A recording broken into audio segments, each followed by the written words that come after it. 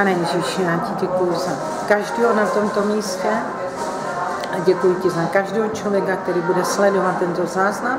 A já ti tady vítám, Duchu Svatý, a já ti předávám eh, tento čas a prosím tě, aby si převzal kontrolu nad tím, co se bude tady dít. Já se modlím, Bože, aby si připravil lidská srdce a lidskou mysl pro přijetí slova. A já ti děkuju, že můžu být tvým nástrojem tvé ruce a můžu dnes mluvit tvé slovo. A já tě prosím, Duchu Svatý, aby si převzal kontrolu nad mou myslí, nad mým duchem, nad mým tělem, nad mou duší a abys přinesl to slovo, které chceš přinést aby si pomazal moje ústa. Děkuji ti za to, že přesně to slovo, které ty chceš říct, bude řečeno skrze má ústa. Děkuji ti za to, Bože. Modlím se za každou, který je nemocný, aby se zou dotkl právě teď. A já ve jménu Ježíše Krista ničím všechny plány temnoty, ve jménu Ježíše Krista, haleluja. A říkám, buďte zdraví, vy jste uzdravení ve jménu Ježíše Krista.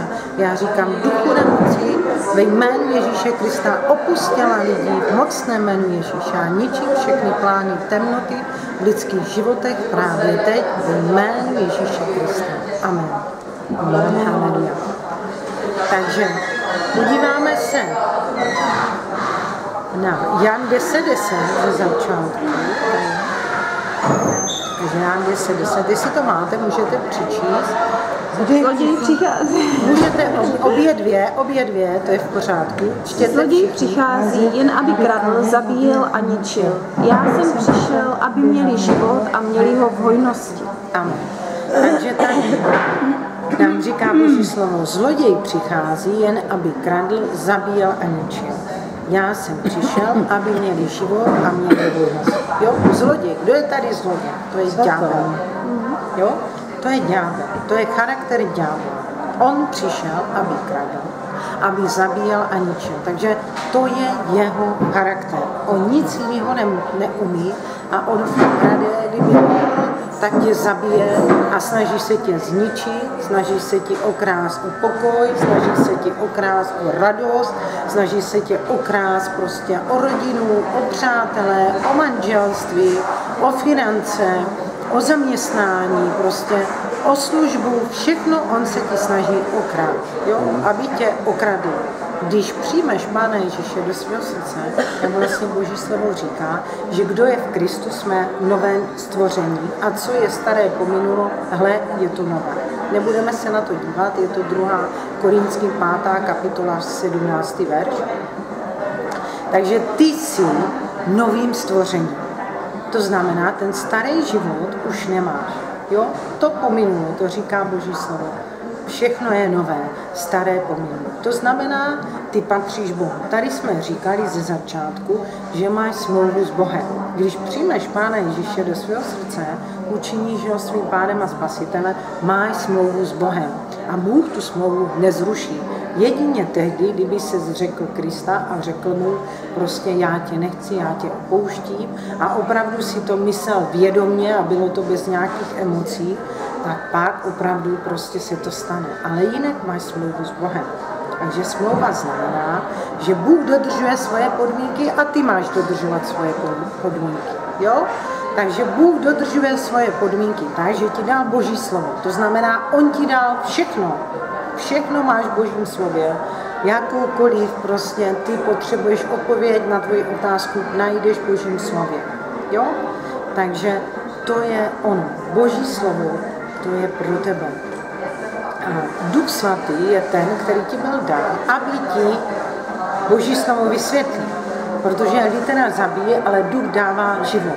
Lidi můžou číst Biblii, ale prostě nemají v tom ten život, protože je to Duch Svatý, který ti ukazuje tu pravdu. Jenom Duch Svatý ti může říct pravdu. Jo? Takže samotné slovo nestačí, je to Duch Svatý. Ale ten ti Bůh dal vlastně s tou smlouvou Ducha Svatého. A to je úžasné, já jsem ráda, že mám Ducha Svatého, protože Duch Svatý nám byl dán jako dar.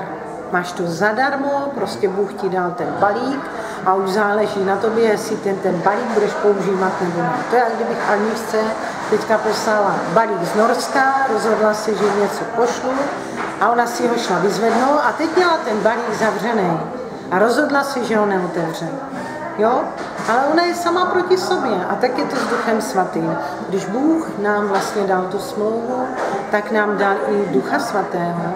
A když já nespolupracuju s Duchem Svatým, tak já vlastně neotevřu ten balík. A Boha to trápí, protože On nám dal Ducha Svatého jako dar, aby nám byl u pomoci. Jo, sám Ježíš, než vystoupil vlastně na nebesa, tak řekl svým učedníkům, že je nenechá osiřovat. Jo? Ale že, jí, že požádá otce a otec jim pošle prostě jiného přímluvce, jo? který s nima zůstane na věky věku a nikdy je neopustí. Ano, duch svatý, duch pravdy. To znamená, to se opravdu stalo. Takže duch svatý žije v tobě. To máš zdarma. To je prostě dárek. A Bůh očekává, že ty začneš spolupracovat s Duchem Svatým. Protože když s ním nespolupracuješ, tak je to mínus pro tebe. A Bůh se trápí. Jo, protože pak lehko prohrává. A to je právě on.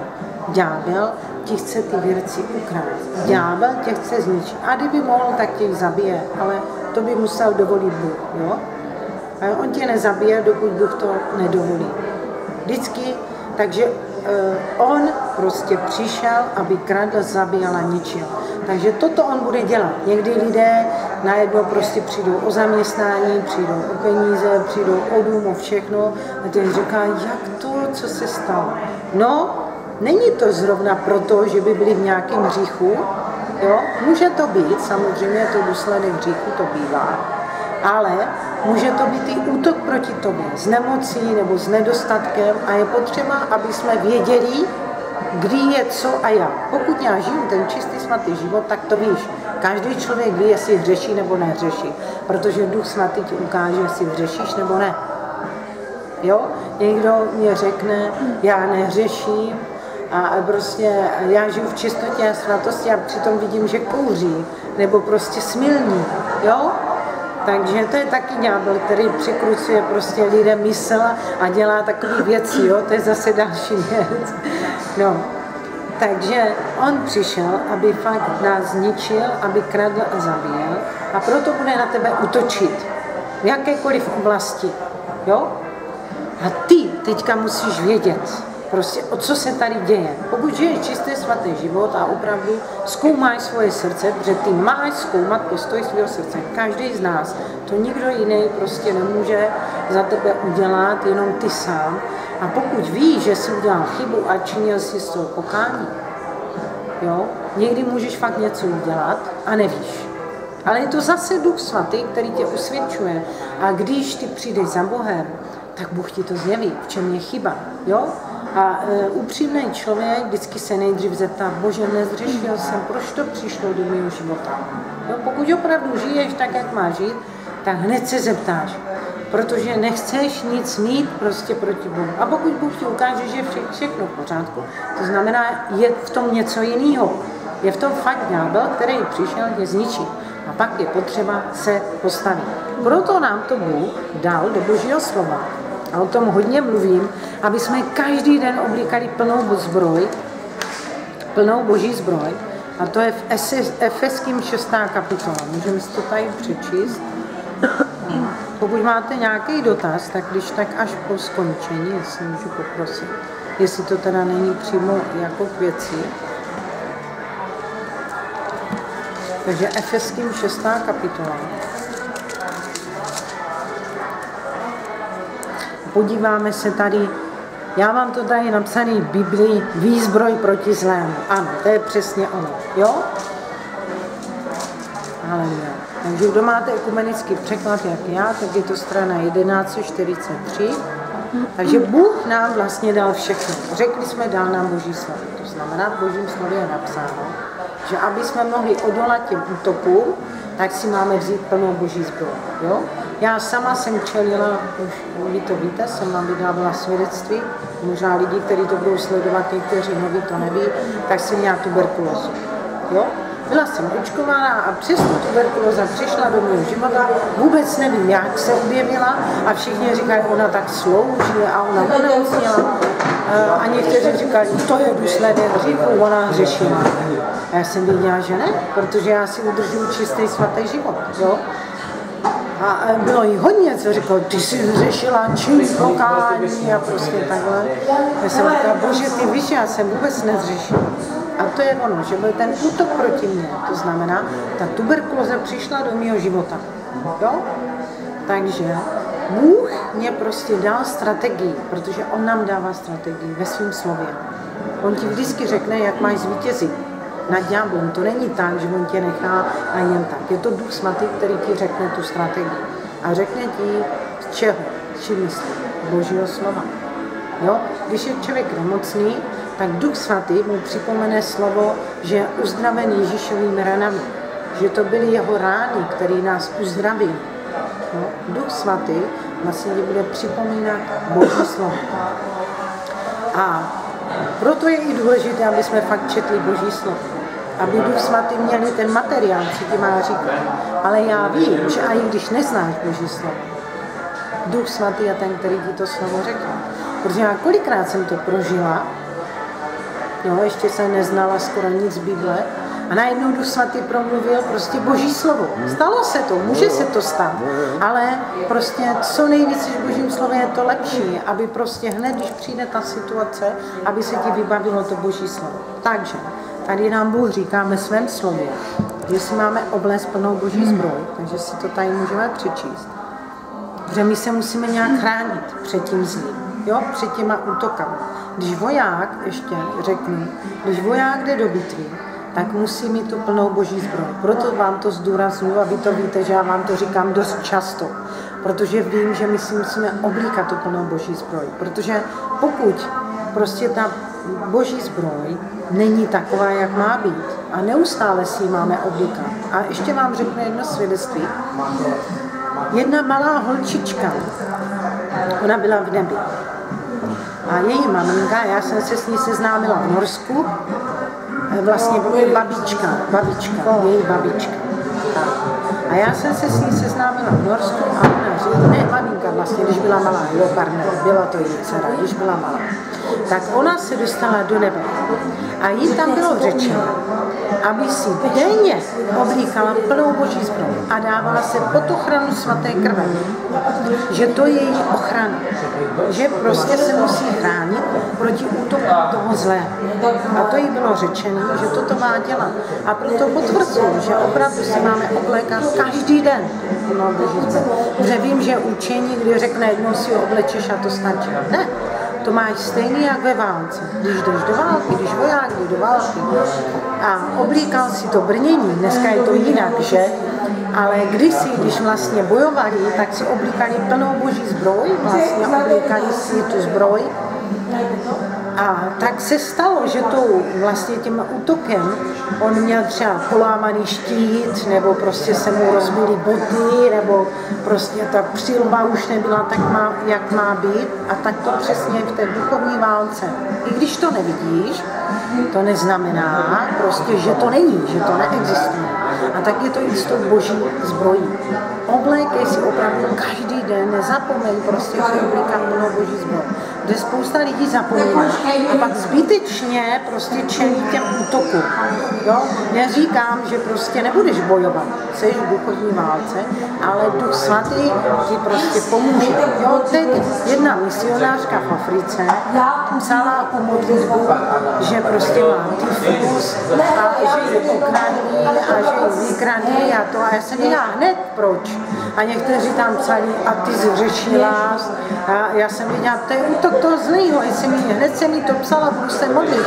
To je prostě satan, který tě napadl, že on nechce, aby si pokračovala v té boží práci, tam jako na misi, aby byla v té Africe. Jo? Říkám, budu se za tebe modlit a potřebuješ modlitební krytí. V Norsku taky lidi říkají, ona hodně slouží, my se budeme modlit. Jo? Za mě, říkají musí mít modlitební krytí, protože bez toho to nejde. Díky Duchu Svatému, opravdu, on to dává na srdce lidem, aby se modlili. A já říkám, musíme se modlit, aby měla dostatečný krytí. Jo, protože ten zlej chce prostě napadnout. Takže si ovlékejte plnou boží zbroj. Jestli to neděláte, opravdu si to zapište nebo si to zaškrtněte, to je hodně důležité pro váš život. Takže můžeme tady číst od toho desátého verše. A tak, bratři, svou sílu hledejte u Pána v jeho veliké moci. Obležte plnou boží zbroj, abyste mohli odolat ďáblovým svodům. Nevedeme svůj boj proti lidským nepřátelům, ale proti mocnostem, silám a všemu, co ovládá tento věk tmy, proti nadzemským duchům zla.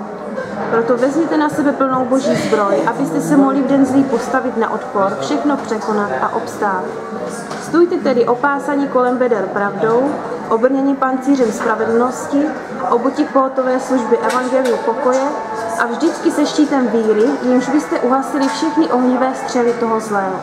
Přijměte také přilbu spasení a meč ducha, jimž je slovo Boží. Tak, amen. Takže děkuju. Takže tady máme tu plnou boží zbroj. Můžeme tady, eh, já to s váma proberu. Takže jedenáctý verš, jo? jsme Efeským, 6. kapitola, jedenáctý verš. Oblečte plnou boží zbroj, abyste mohli odolat ďáblovým svůj. Jo? Proto je důležité, aby jsme si oblíkali tu plnou boží zbroj, aby jsme mohli odolat. Nevedeme svůj boj, toto je taky důležitý verš, nevedeme svůj boj proti lidským nepřátelům, ale proti mocnostem, silám a všemu, co ovládá tento věk tmy, proti nadzemským duchům zla. Tady se zastavím a trochu to vysvětlím. Někdy máme dojem, Říkám to hlavně asi pro ty lidi na kameru, protože vám to říkám dost často, že mým hlavním nepřítelem je manžel, moje manželka, moje rodina, třeba žena na úřadě, jo, když jdu něco vyřizovat.